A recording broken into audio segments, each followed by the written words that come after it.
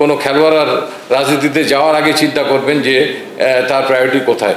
বাংলাদেশের প্রথম ক্রিকেটার হিসেবে জাতীয় দলে থাকাকালীন সময়ই এমপি বনে যান মাশরাফি বিন মর্তুজা। খেলেন বিশ্বকাপের মতো মহা গুরুত্বপূর্ণ টুর্নামেন্টেও। একই কথা প্রযোজ্য সাকিব আল হাসানের ক্ষেত্রেও। দেশের ক্রিকেট মহলের বড় একটা অংশের অভিযোগ, এভাবে দুই দিকে মনোযোগ দিয়ে আসলে ক্ষতি হয় দেশেরই।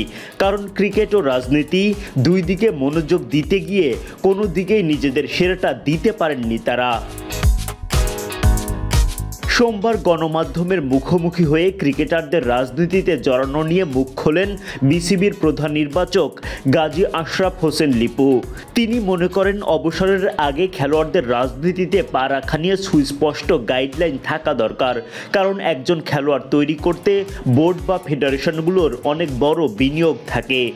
এটা আসলে এটার একটা গাইডলাইন আসা উচিত সংশ্লিষ্ট প্রত্যেকটা ফেডারেশন কিংবা বোর্ড থেকে, আমি মনে করি, যে সেই ক্রাইটেরিয়ায় আপনি যদি খেলাও থাকে, আপনার যদি রাজনৈতিক কর্মকাণ্ড থাকে, আপনি কোনটাকে প্রায়োরিটি দিবেন।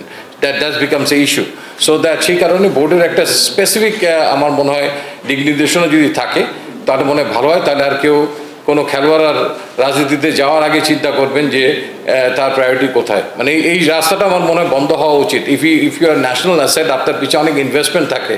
আপনাকে সেই পর্যায়ে নিয়ে যাওয়ার জন্য। তারপর অলওয়েজ সাডেন যখন আপনার খেলোয়াড় হিসেবে দেশকে আরও সার্ভিস দেওয়ার সুযোগ আছে অলওয়েজ সাডেন আপনি যদি মানে কোনো রাজনৈতিক ক্যারিয়ার যদি এমন হয় আপনি বিল্ড আপ করে এসছেন that is different always sudden আপনার জাস্ট পজিশনের আলোকে যদি আপনি শিফট হয়ে যান সেখানে আমার মনে সেটা হলে দেশই বঞ্চিত হয়।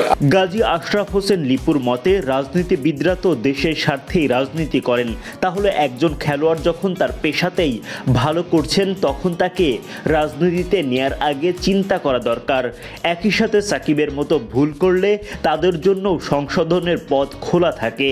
মানুষ ভুল করে আবার তার শুধরানোর সুযোগ আছে। আমি মনে করি যে সাকিব আল হাসান কিংবা অন্য খেলোয়াড়, যে যে কোনো খেলোয়াড়ই হোক, তিনি যদি কোনো ভুল করে থাকেন তার পথ চলার মধ্যে, আমার মনে হয় তাকে তার নিজেরই একসময় বোঝার সুযোগ হবে তিনি কোথায় ভুল করেছেন এবং সঠিক ট্র্যাকে তিনি আবার নিজেকে নিয়ে আসতে পারবেন। এছাড়া জাতীয় দল নির্বাচনে সামাজিক যোগাযোগ মাধ্যমের ভূমিকা নিয়ে মুখ খোলেন প্রধান নির্বাচক। তিনি মনে করেন বড় বড় স্ট্যাটাস নয়, ক্রিকেটীয় মেধায় দলে জায়গা পাওয়ার মানদণ্ড। আর সোশ্যাল মিডিয়ার কথা আপনি বলেছেন সোশ্যাল মিডিয়ার একটা ইম্প্যাক্ট তো থাকেই। সেই ইম্প্যাক্টের সময় আমি তো আর খেলোয়াড় না। আমার ক্যারেক্টার থেকে আমার আমার সিলেকশন প্রসেসের মধ্যে দিয়ে আমরা যে ন্যাশনাল প্যানেল আমরা আছি, তাদেরকে দেখাতে হবে। আমাদের তো একটা ছক আছে, ছকের মধ্যে থেকে আমাদেরকে হিসাব করতে হবে। এখন কে কত বড় স্ট্যাটাস যদি কেউ অনেক বেশি একটা স্ট্যাটাসও দিয়ে থাকতো, আমি সেটি কি ক্রাইটেরিয়া হইতো তার সিলেকশনের জন্য সার্টলি নট তার, এক্ষেত্রে তার মেধাটা ক্রিকেটীয় মেধাটাই সবচেয়ে আগে থাকতো। আলটিমেটলি আই মিন যারা রাজনীতি করেন, তারা তো দেশের জনগণের জন্যই করেন, দেশের জন্যই করেন, দেশের পতাকার জন্যই করেন। সো মাই পয়েন্ট ওয়াজ তাদের যেমন ভাবনার বিষয় আছে, যে একটা প্লেয়ারকে যে যেখানে আরেক জায়গায় খুব ভালো সার্ভ করছে, তাকে আপনি নেবেন কিনা? না উচিত কিনা?